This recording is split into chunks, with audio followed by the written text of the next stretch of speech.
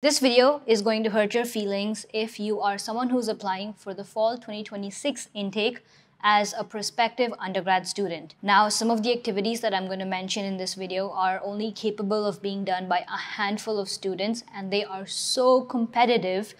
And for that reason, each one of these activities won $250,000 and these students have then gone into getting accepted into some of the best universities in the US. Let's begin. Just remember that this is in no way any template that I'm providing you guys that if someone did the exact same thing, they're going to get accepted into the exact same college. That's not the point of this video.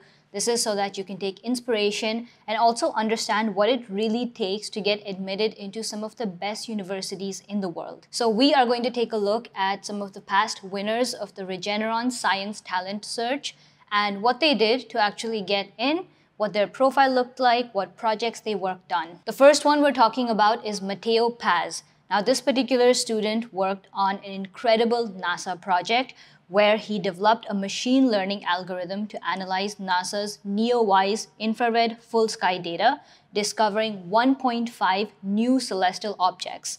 Now, this entire project was done under the guidance, mentorship, and collaboration of senior NASA scientists, and he himself worked as a researcher at the NASA facility. Other than this, he was also the founder and president of his school's research club, where he helped other students get involved in research based activities.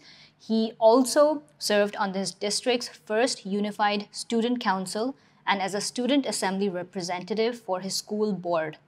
Other than this, he also founded Money Matters, which was a freedom finance related podcast, which he did on the side. Again, a great extracurricular activity to showcase that you're not just doing all of the activities for the sake of your college applications. You truly want to make a difference in society, help those around you, and basically educate and grow the society as well. Now, as you can see from these activities, majority of them are academic based and they are extremely impressive but there are a few handful like the music one as well as the podcast that I mentioned where it's not directly related to academics but in general making sure that you're contributing to helping those around you and trying to make a difference in society. Now with these extensive extracurricular activities he's currently under the research staff at Caltech which is one of the top universities in the world. The next one is Achyuta Rajaram he created an automatic method to identify decision-making components in computer models improving the overall algorithm transparency and fairness. Now, what impressed me the most about this project was it was done as an individual project with no affiliation to any other university. Some of the other activities on his profile included being the co-head of the physics, chemistry, and chess clubs in his high school at the Phillips Exeter Academy. He even grew the chess club from 3 to 30 members, teaching strategy, organizing tournaments, and being really involved in the process. Now, with all of these activities combined, he is currently studying at MIT, arguably the number one university in the entire world. Our next student is Neel Moudgal, who designed a computational model to predict RNA structures using accessible data facilitating disease diagnosis and treatment. Now, this type of work, guys, is done at industry levels with people who have PhDs in these subjects, and this being done by a high school student is absolutely fabulous. Now, his work was done under the mentorship of Dr. Aaron Frank at the University of Michigan as part of a STEM related program in high school. Now, if we take a look at some of the other activities on his profile, they really are abstract and really creative. So, some of the other ones that I found really cool included him being the captain of the varsity quiz bowl team and a program for his robotics team at the Saline High School. He was a teacher's assistant for special needs children had a second degree black belt in Taekwondo, and an avid rock and mineral collector since the age of six with hundreds of specimens around the world. Currently, he's attending the University of Michigan, double majoring in statistics and biophysics. The next one on our list is Christine Ye. She analyzed the gravitational waves from neutron star and black hole collisions using LIGO data, providing insights into mass and spin characteristics of astronomical objects.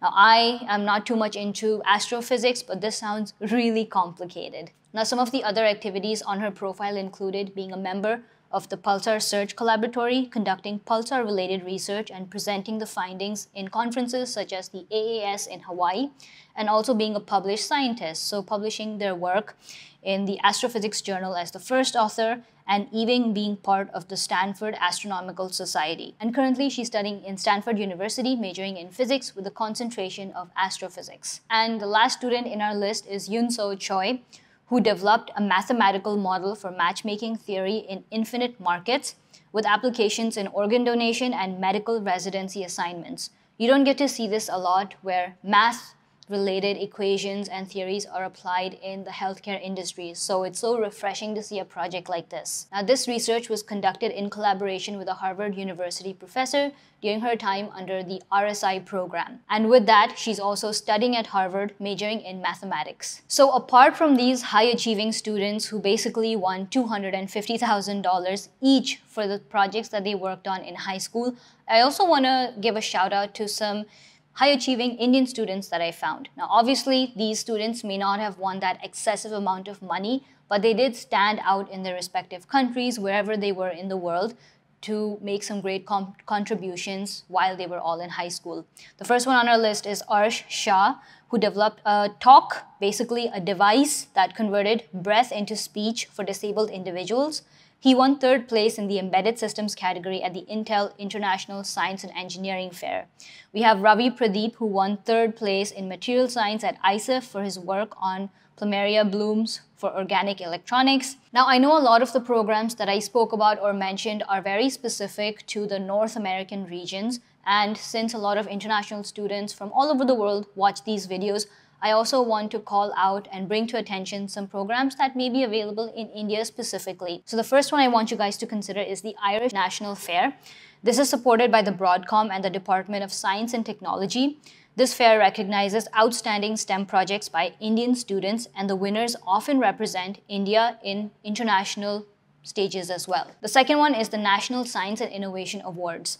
These recognize young scientists in India for groundbreaking work in science, research, and innovation. The third one on our list is Rashtriya Bal Puraskar. This one celebrates the achievements of young Indian students between the ages of 5 and 18 across various fields, including innovation, social service, and even sports. Now, these platforms may be more achievable as well as accessible to those students that are maybe not in the US, but nevertheless, most of the competitions that I mentioned throughout this video are eligible for all students. They just want to make sure that the project that you're working on has societal and communal impact and is actually tackling a real life situation that is a problem in today's world. So take inspiration from all of these projects. And if you're watching till this point of the video, I would like to know from you, what is one creative project that you're working on? You don't need to go into the details or specifics, just a blurb or a highlight. Put that in the comments below and I'll be replying to a lot of the projects as well. So if you have questions and doubts, you can ask those too. And if you don't know where to start, the best place that you can start is the Research Bootcamp by Incognito Blueprints. It's the perfect starter research-based program that happens once a year and the enrollment is still open. So check out the link in the description, like the video and subscribe. I'll see you guys in the next one. Bye.